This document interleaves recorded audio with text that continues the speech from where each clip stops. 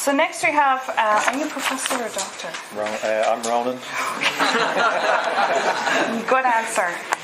Um, Ronan Canavan is consultant endocrinologist in St Vincent University Hospital since approximately 2007.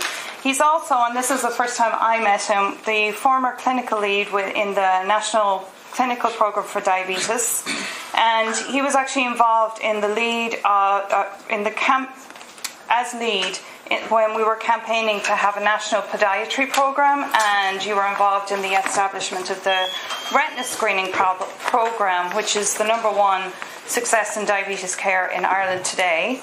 And Ronan is actually going to talk about the very access to the insulin pumps, or hopefully something around that area. Okay. Thank you very much, Grania. Um, sorry for that flippant answer. I do have a title of Associate Clinical Professor uh, as such. I think they're called ASProfs. Profs so I try not to use that term.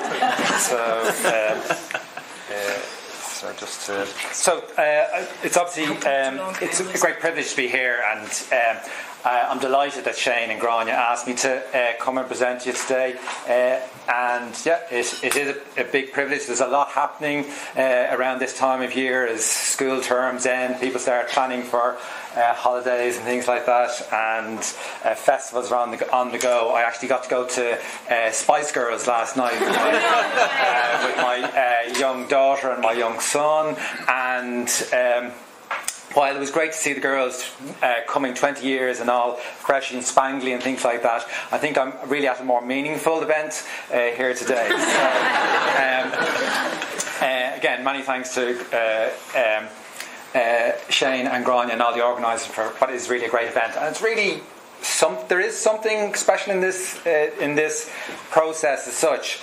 Um, and maybe I'll hopefully capture a little bit of that by the by the time I get to it. So Shane, I think he had me written down for a 40 minute um, speech. So very good that he got it down to 20 minutes because it allows me sort of. I'm not going to be uh, waffling on and trying to fill all that 40 minutes. So I think it's Mark Twain that said something about um, I didn't have time to write you a short letter, so I'm writing you a long letter. I'm not going to be waffling, or maybe not, but it's all going to be finished in 15, uh, less than 20 minutes anyway. So.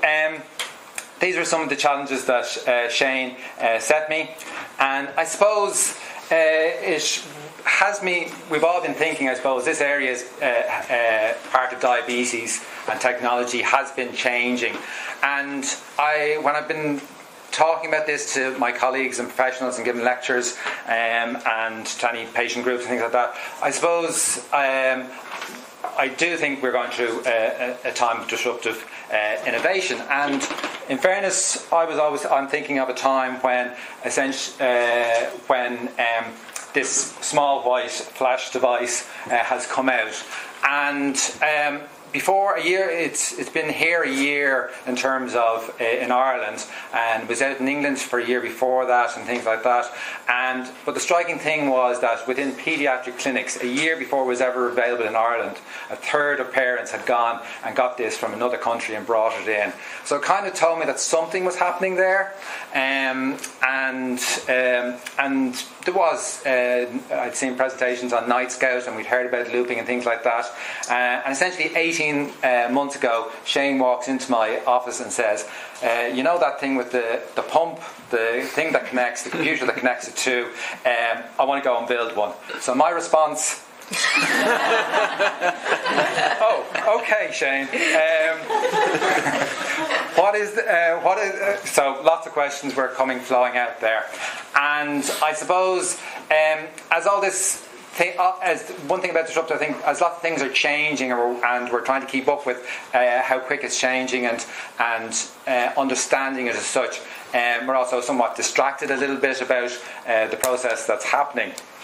So um, I suppose it was an uncomfortable situation a little bit, and um, I'm not the leading technologist, diabetes technologist in Ireland. Uh, there are a couple uh, more of those um, uh, available in, in, Ireland as such. I do have a good understanding of how a pump works, how a, a glucose, uh, continuous glucose monitor works, the various options available, how to get it as such, and um, I am up to date with where I should be in terms of education. I go to Diabetes Technology Network uh, meetings. I was at one last week in the UK and things like that. So, and people who go to that are in the top quartile, top 10% of of um, of, of, clinics um, uh, who who have uh, some expertise uh, in this area.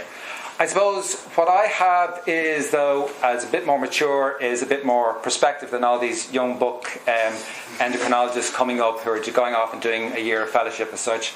And um, what is happening, as much as all this technology is happening, what also is happening is there's a whole communication going on and I must say that that's the aspect that I continue to get distracted by and go off. I'm never off Twitter, um, and uh, it's a good educational source for uh, for doctors and things. That it was mentioned at the, at the Diabetes Technology Network that it could be used for continuous med- medical education to keep up with your Twitter feeds uh, around all the community that's happening in this area. So. Um, of things that have happened uh, to me in the last few years, there's probably one or two key events that have happened over the last three or four years to me. One of them was actually, uh, so some of those are in professional, some of those in personal, some of those are in social. One of the um, professional ones was going on a, a, a, diabetes counselling course, and I suppose this is how we talk to our patients uh, with diabetes and what we. Um, uh, what, what way should we, we talk to them, and how do we truly get patients um, uh, interests. How do we get? How do we do what patients want us to do? I suppose, and it's where we've been trying to get to over a while. And when I went on this course, I didn't suddenly change my activity, but it did sort of clarify within a few aspects of this of.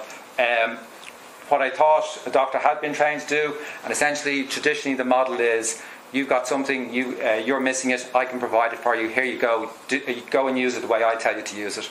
So, where doctors, the, the, the diabetes teams, the nurses and dietitians are the fixers as such. And clearly, that's not anything I've actually been doing for, for years anyway. So, when it was explained to me that actually what, what our role is, is that we're the facilitators, um, and what we're trying to do is get a healthy situation is where we uh, listen to our patients um, and we try and get them access and get them to a place that where they can have their best life with diabetes. I suppose is what we're doing, and that involves uh, being in a place where we have this uh, this state of genuine uh, positive regard.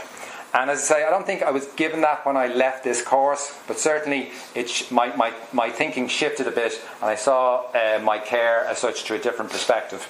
Um, so even though I've 23 years of diabetes behind, behind me, I'm so, certainly not finished learning, and uh, I have lots of uh, things to, to learn as we go along. So, with regards to um, how uh, uh, the healthcare professional, how the teams are viewing this, we're a bit like that frightened dog there a bit uh, when it comes out. Um, but um, we don't have any data for Ireland, so that is where we're at a, uh, a bit of a disadvantage in terms of the looping uh, as- aspect of things. We're really short on what to do about that. So there have been surveys done in the UK, and there's a, an Association of Diabetologists, Association of British uh, Clinical Diabetologists, and they've done a survey asking how many actually people might be looping or are looping in your in your clinic that you know about and uh, their, their uh, response to that is that there are a couple of clinics in the UK where up to 20 patients are looping, and they expect that number to increase 10, 20 over the next uh, year or two. Um, but there are uh, lots of clinics um, widespread that have one or two people looping. So essentially, I, uh, that makes me immediately question where are those patients in my clinic as such, and are there people that um, we're not having conversations with who um, who are looping or thinking about looping. I suppose the positive thing from the survey was in terms of um, three quarters, uh, uh, two thirds of the healthcare professionals being asked in these clinics were very much uh, open to going along with this whole process and being um, and going on the journey, I suppose, that people are undertaking at the moment. Um, there was a point made in terms of that there was a third or a quarter who really are either don't know what to do or don't want to continue on that.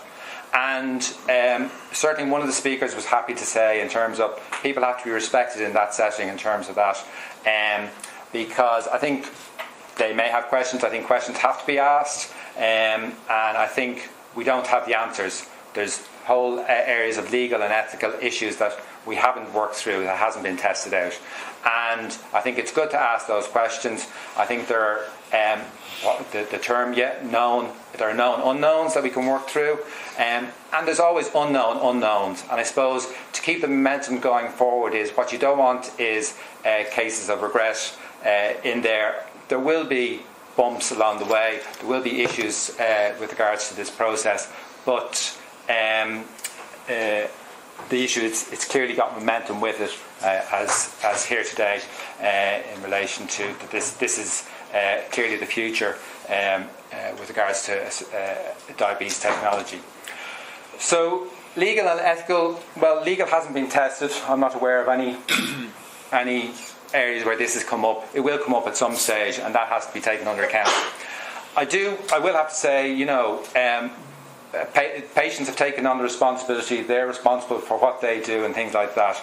I think that's a reasonable statement to do there, and that covers to a certain extent. I don't think that necessarily that has to be tested out legally as well, where that comes, because ultimately um, the question will come back is when so, somebody else who's involved in that process, uh, a partner or a carer and things like that, says, "Well, I didn't know that was happening," or what in relation to that, and that will um, draw out a legal question and a question that needs to be asked in terms of that.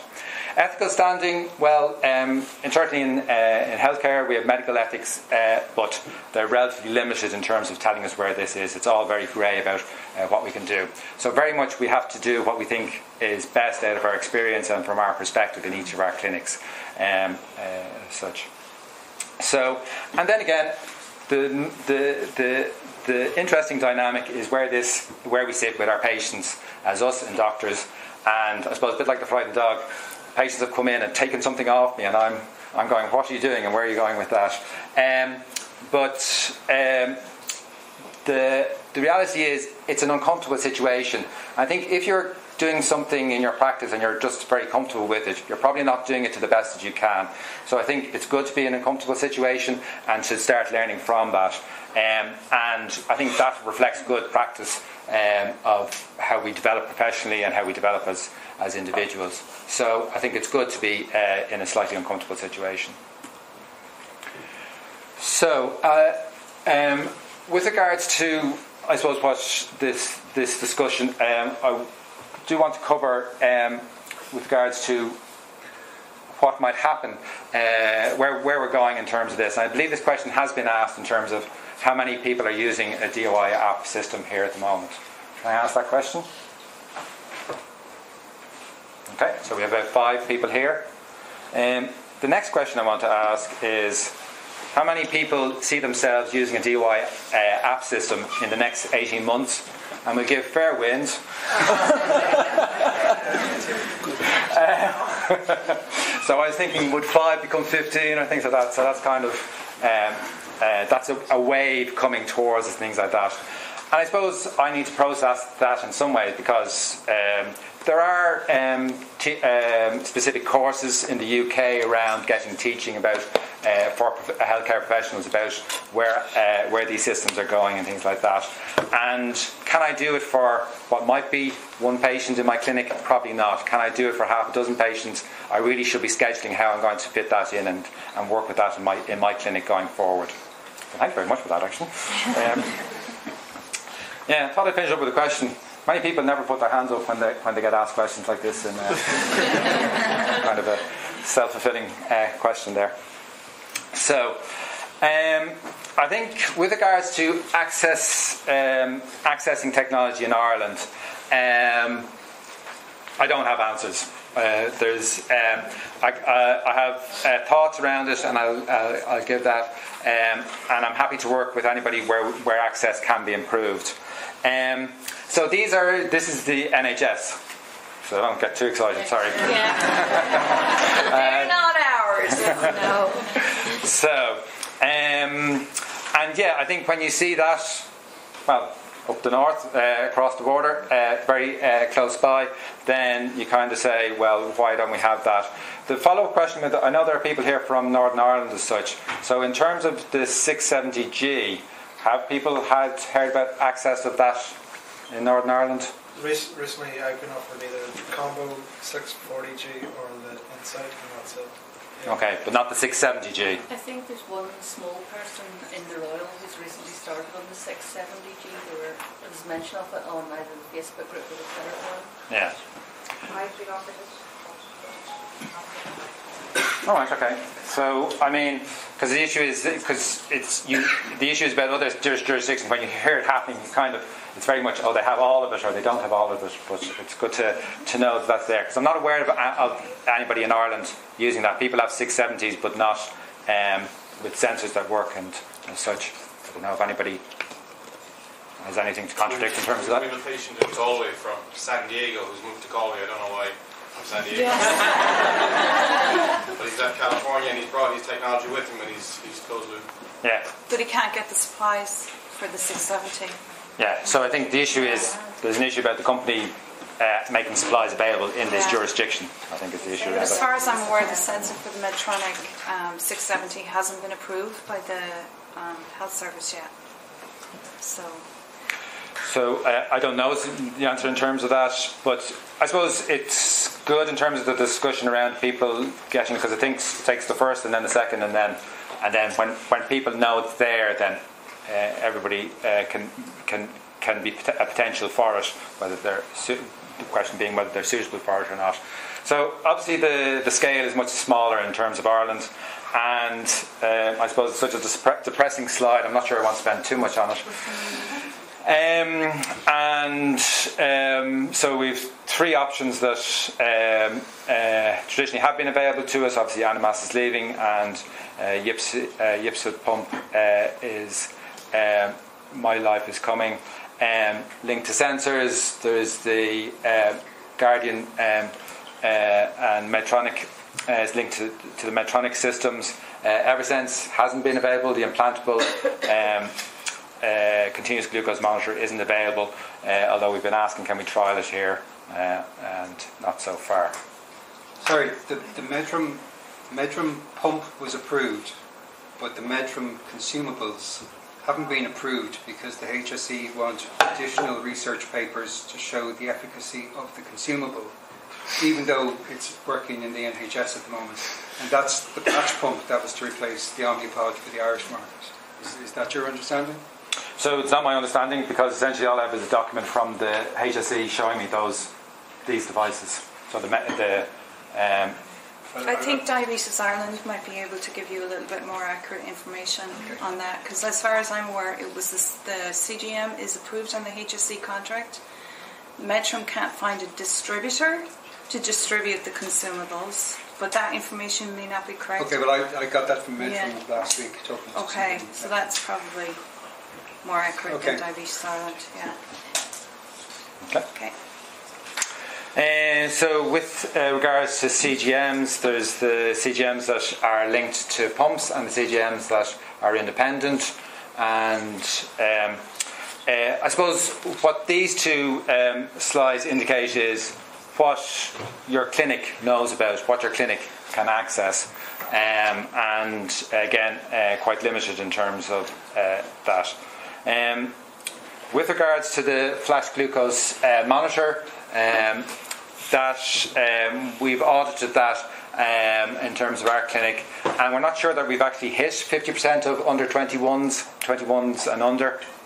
Uh, currently on that, um, but when you go into the clinic and ask about uh, access to that, um, you either get a positive uh, response. Um, so, are they type 1 diabetic? Um, are they less than 20 and 365 days? Um, are they uh, m- using um, uh, multiple daily insulin or pumps? And are they uh, required to use uh, multiple um, testing? Um, or are they uh, have been, admi- been admitted with a severe uh, hypoglycemic episode or DKA, and that they're not pregnant? Um, so um, if those are passed, then it's just an automatic that will come back uh, within a day or two as, as, as, uh, as being accepted and no questions asked. Um, clearly, there's a whole group of people outside of that range, and that's where you start putting in exceptional uh, circumstances. List of exceptional circumstances? There isn't one. yes, it's the computer says no, the computer says yes, it's the flip of a coin. I don't think that's really an acceptable position to be sitting on. So, whether you're going to restrict that to a particular group or not, whether you're going to turn it down because there isn't the funds for it, if you're going to turn it down because you're going to require certain conditions in there, I think the least you, you, you uh, need is a reason why. And um, it's very much, I think we're getting to the point of whether the, this is up for review and what's going to happen. This does need to move on uh, in relation to this. So, if I was offering you this intervention, um, where patients come out saying every uh, diabetic should have it, uh, has made a huge difference to my life, uh, my husband's. Uh, I didn't know uh, whether it would work for me, and after a week, uh, all that went away. What am I talking about? CGM. CGM? Libre? Lupin. No, not lupin. Insulin. Uh, insulin, maybe. oh. Okay, so um, in terms of uh, structured education, so certainly in my practice, and I think this is um, the expectation is um, structured education of a high quality equivalent to DAFNE has to be a starting point in terms of uh, any technology um, uh, intervention. Uh, or but certainly that's where we're at at the moment. Um, basically, because uh, there isn't an intervention that reduces DKA by 61%, there isn't an intervention that reduces severe hypoglycemia by 72%, there isn't an intervention that has cost savings behind it. Um, so this is ingrained, and certainly in the, the talks I was at at the Diabetes Technology Network, is that DAFNE. Uh, If you got my tweet. Yes. So technology is getting. uh, So this is where I got my my uh, continuous medical education on Twitter from from Dawn. So thank thank you very much in terms of that. So in terms of access, I suppose. Um, Obviously, we're talking to people who are who are patients who are actually quite empowered. So therefore, I think it's relatively easy for you to find out where the guidelines for type one uh, uh, for type 1 for diabetes are available. There's a very good link on Grania's uh, blog page in terms of that, because it's actually very hard actually to find it, but I'm, we're talking to people who are technically savvy, so you will find it elsewhere on the internet, but actually I, I know the quickest way to get it is through Grania's website now. So you're the one. I'm the only one, is it? Um, and I suppose two things to say. One thing to say about this: this is what a guideline. So essentially, what you're uh, entitled to in your in this uh, in Ireland is laid out in this document, or what you should expect. Um, I think there's a long list of there, and they can be up for debate. But I think this isn't the the highest bar that you have to achieve. I think you should be considering of this: Do I hit any of these? And if I don't, well, does this is a guideline? So can my clinic take me anywhere beyond that? So I think these are useful in terms of directing people who really should be first on, the list in terms of getting access to uh, continuous glucose monitors. It's not that different for pump technology as well. Um, but ultimately, anybody who can get use out of technology should be um, uh, should be put forward for it. And um, I think there is a lower lower threshold in terms of that. Um, more the, the number of uh, pumps within clinics certainly it's increasing rapidly within our service continuous glucose monitors dexcoms are increasing rapidly within our clinics as such and the the letters that we have to write to uh, access that is uh, none have been rejected while you go on the flip the wheel of the freestyle libre and it's a yes or no um, uh, flip of the coin uh, decision so I, I haven't had any, had any rejections with regards to that. Now that's the area that I'm. So that's the around the Dublin area, and that may feed into Kate's uh, data in terms of potentiating the problem there, um, such. So how do we increase access?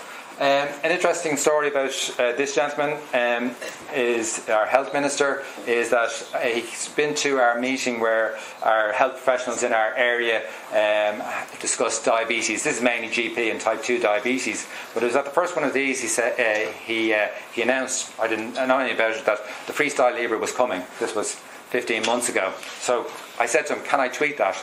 And his response was, Go and tweet that. That'll shake them up in the HSE and get them, get them going on it. So I suppose what that's demonstrated is these are obviously the, the decision makers and people within it, but it is quite a complicated system in trying to figure out how the system works and how to get something out of it. And um, three years of it, I needed a break from it. Sean's experiencing how to figure it out. Have you figured it out yet, Sean? No. So uh, people, so as people who've um, had the, the, the, good fortune to lead in the National Diabetes Programme, uh, we can we can design what we think that, that should be happening and hand it to the, the, to the HSE. But how we get them to actually implement that is is fraught with problems. So I think the last thing I was asked to, to cover by uh, Shane was, I suppose, the general approach to the team in terms of how to um, get more out of them or how to um, the interaction with it. Because clearly, um, there's been communication going on. It happens in the consultation room. It happens our, when you're having one-to-one with your nurse or dietitian. Um, and I suppose we, we haven't spent that long talking to what's happening out in the waiting room, and we haven't been involved in the communication that's happening out in the wider community. And I think that's something that's, that has to change and is changing in terms of healthcare professionals. Um, and but clearly, the reason the the the uh, thing that is changing is that the doctor or the team is no longer the expert, and certainly in this area, uh, we have to listen to what's available to us. So, um, if you're coming in with technology to your team and the team is saying, "I know nothing about that," well, I think it's it's for them to sort of sit down and ask um, well, give me 10 minutes of, of what you can tell me about it and bring me up to date with it. And I think getting involved and engaged with the team in that way uh, is, is one approach I would suggest in terms of trying to um, get the most out of your team. Uh, discussing with my colleagues, I suppose the issue is that um, when patients are coming into us, um, I suppose this is around the area of a patient coming in thinking that they've heard uh, on the internet that this this system it works perfectly um, and that's what I need and everything will be fine in terms of that. And the question is, has the, have they thought about what that is? And when the healthcare professional asks that, that's not necessarily uh, no to that. The question is, what do you understand about that? And tell me what you understand about that. Because I suppose the, the, the, the, teams you work with um, uh, are, are involved with um, your team.